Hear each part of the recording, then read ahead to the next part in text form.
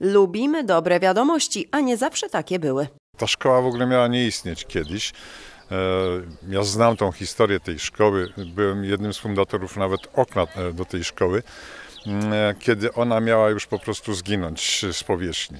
Ale nie takie jej przeznaczenie. Szkoła podstawowa w Idzbarku istnieje, czeka ją rozbudowa. Jesteśmy na uroczystości w- wkopania kamienia węgielnego pod nowy, nową salę gimnastyczną tutaj.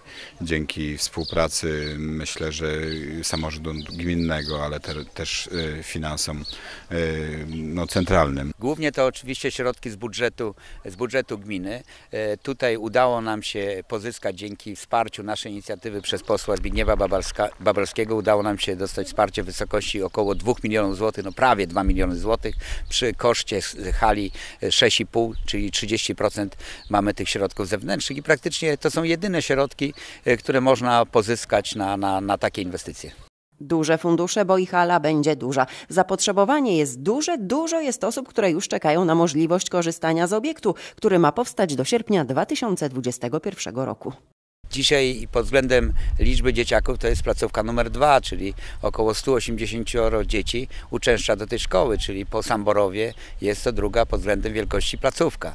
E, To nie jest tak, że ta hala ma służyć tylko dzieciom i tylko mieszkańcom Izbarka, który liczy kilkaset mieszkańców, ale no ta hala, która no będzie miała prawie pełen, pełen wymiar, czyli ten użytkowy 36 na 18, to również bardzo chętnie do korzystania dla mieszkańców sąsiednich, sąsiednich miejscowości. Aktualni wychowankowie postrzegają inwestycje tu i teraz. Absolwenci sięgają do wspomnień. Kiedyś nauka wychowania fizycznego zazwyczaj odbywała się pod gołym niebem. Możliwość wyboru przestrzeni cieszy tym bardziej. Moi rodzice chodzili do tej szkoły, nie było hali sportowej.